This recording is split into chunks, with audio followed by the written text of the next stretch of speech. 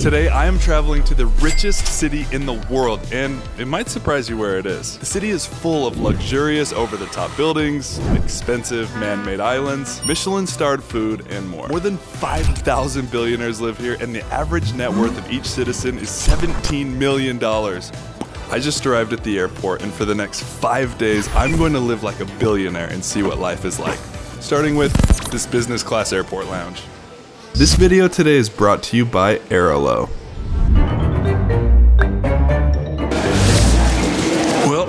Unfortunately, Turkish has gone cheap on their lounge selection here in Chicago. The lounge that their business class ticket gets access to is called the Swissport Lounge, and it is older. Let's say that. Just look at this chair I'm sitting in right now. And I don't say this to complain, just to show what it's actually like. They're actually serving top ramen over there as one of their meal choices. But I'm very happy, and I'm very excited for this flight. And I got oatmeal. I'm good.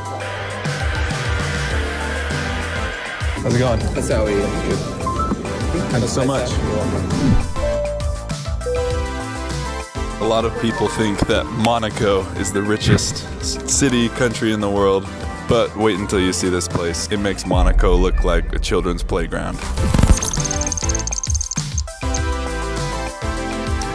Thank you so much. Have a good one. You too. Oh, man, that was a long flight, but I have made it. And look at this place. Even the airport is incredibly nice and probably very expensive. Fun fact, this is actually the airport that the new Mission Impossible movie was filmed in. And everything feels so futuristic. Like there are no immigration officers. You just scan your passport and then a door opens up for you. All in all, absolutely beautiful airport.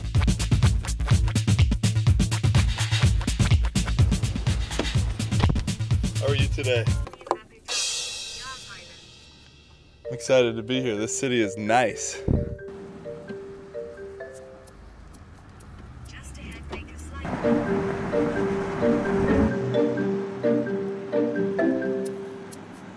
Oh my gosh. This hotel is insane. Wait until you see this.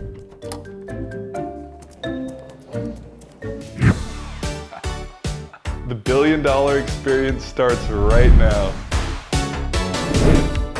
I booked this hotel room specifically because this is the only hotel in the world that is on top of a Formula One racetrack. This is what people pay the big bucks for. This suite right now in off season costs over a thousand dollars a night, mainly because billionaires will pull their yachts into this private marina right here, come check into the hotel, sit out on their private balcony, and watch Formula One right from their room. This is like a billionaire's playground right here. I forgot that I haven't even said where I am yet. If you can't tell by now, welcome to Abu Dhabi. I could get used to this life, not gonna lie. This hotel is so nice. I swear, I've never, oh my gosh, I've never seen a chair like this before in a hotel room. Let's do a proper bed test. That's nice. The crazy part is that this is just the start. I have some very unique, luxurious, adventurous stuff planned for this week, and I can't wait to get started. First things first, I'm gonna activate my eSIM from Airalo so that I can stay connected during my entire trip here. Boom, done. I have service. Wasn't planning on filming my workout today, but this gym might have the best view of anywhere in the world. Right out these windows, you have all the yachts in the harbor, and then over on this side, you have the grandstands and the finish line of the F1 track. Where am I? I don't know why I'm jump roping. I just saw one over there. Decided to do it. Of course, there is this beautiful rooftop infinity pool at the hotel, and check this out. There are now cars racing on the racetrack that we're looking out over while we swim.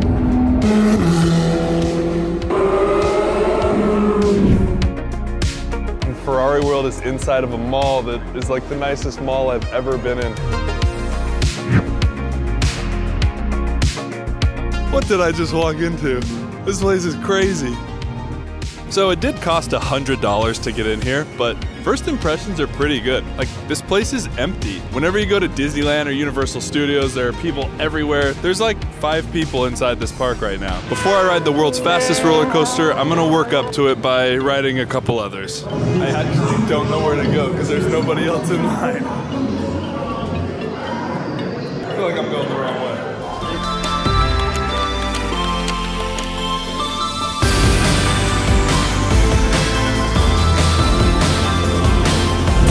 Coasters here on another level. I'm so dizzy I can't walk. One more warm-up ride before the world's fastest.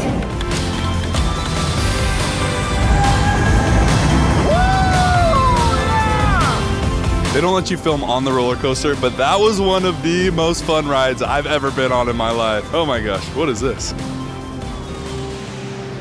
Hello. the time has come to ride Formula Rossa, fastest roller coaster in the world, 149 miles per hour. Let's do this. It's closed. Wonder if somebody died on it. That's unfortunate. Normally there's really loud music playing here in the theme park, but a call to prayer has taken over. This is really cool. Of course, you can't come to Ferrari World and not drive a Ferrari. This is actually my first time in a Ferrari. I like it. I'm just taking a photo. Yeah, yeah. I'm so curious what these pictures are gonna look like to pay $40 for this. This next place I'm at is basically a country club on steroids. Yes, there's a golf course, but there is also a horse racing track,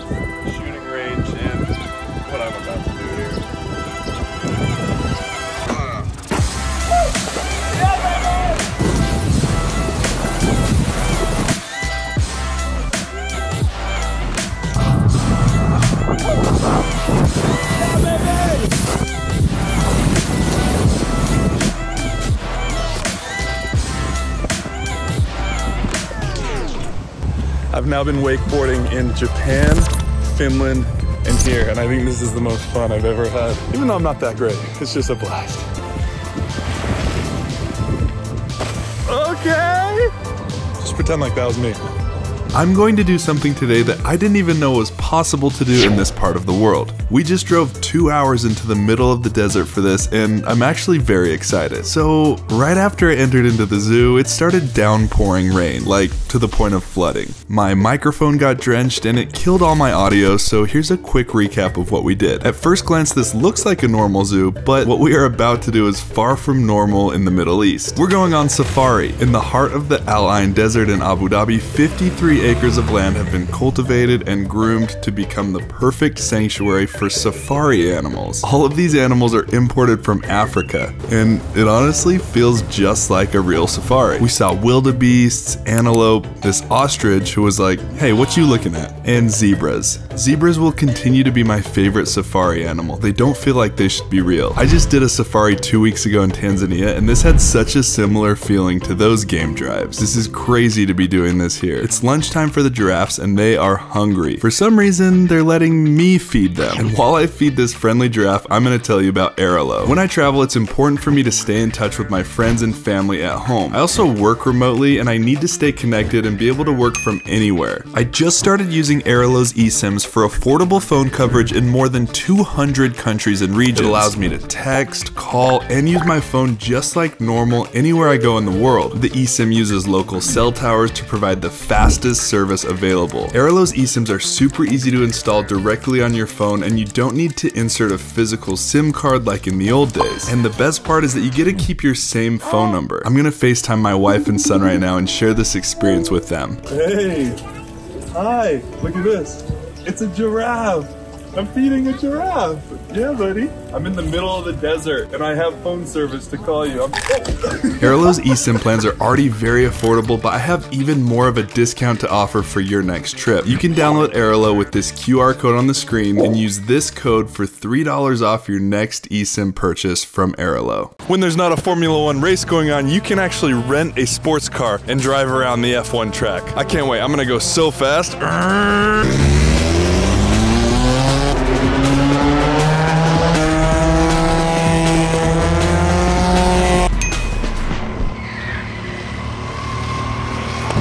not going so fast. It was sold out.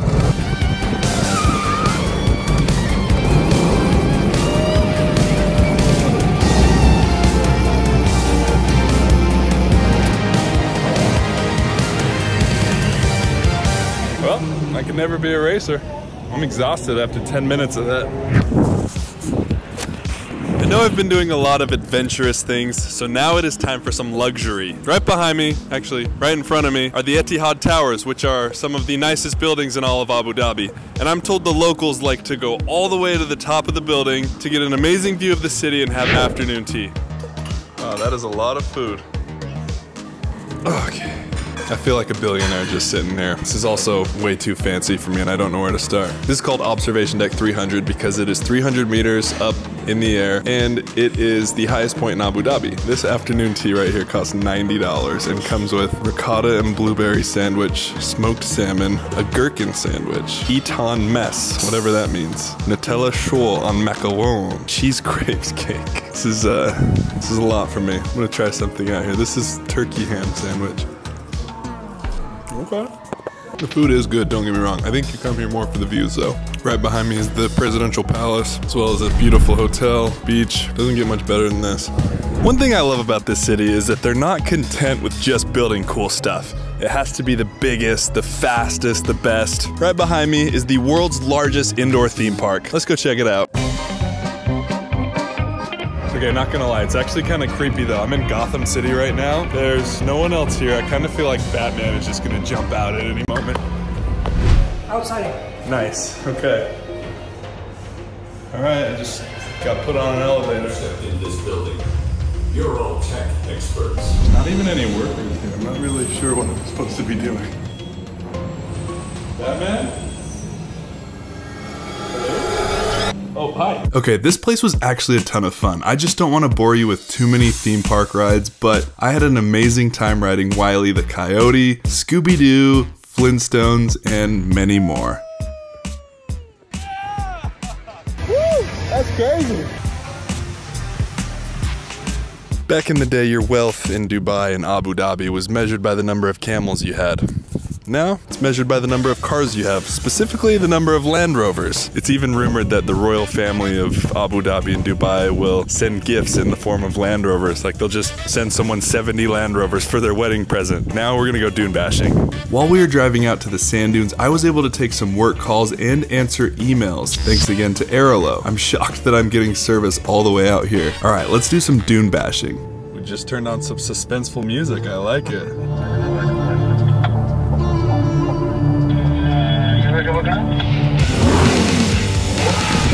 Sand in my mouth. Holy Land Rovers. Where did all these people come from?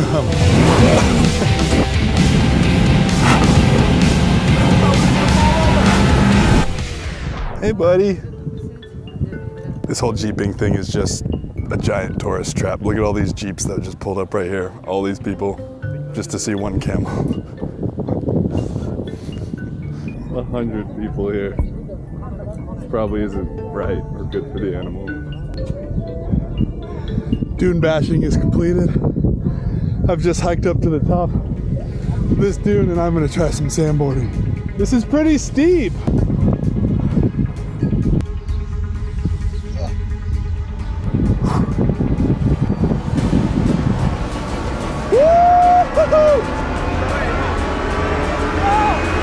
Yeah!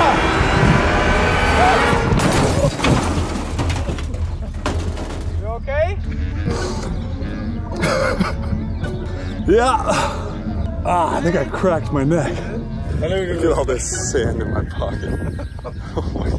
So if you need anything, I'll be at the workout over I can't feel my neck. Is there a doctor here? After my neck breaking fall, we enjoyed a sunset in the desert before watching this whirling dervish show. We had a nice barbecue dinner and even a fire show that was actually super impressive. This dude drank lighter fluid, but it was a perfect way to end the night and end the trip. Back at the airport, that is a wrap on Abu Dhabi. I've absolutely loved this city. Thank you so much for watching. I will see you in the next video.